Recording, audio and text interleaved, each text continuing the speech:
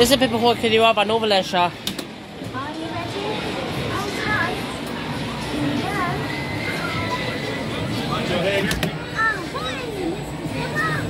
Here we Yeah. Nor- Northern It's about 15. Under license to... I don't know. Yobi? And uh, yeah. Yeah, if you know the last one, please tell me. There's Red Lambkin over there. I'll probably film next.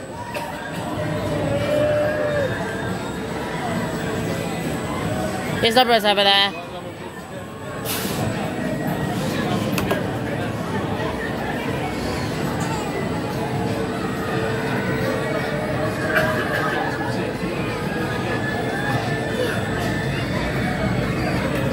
Just don't know why Pip spins on this unit. It used to spin, but not anymore.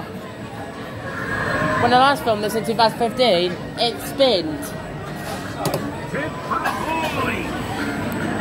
But the buttons have changed. These two bands have been swapped around and changed. See?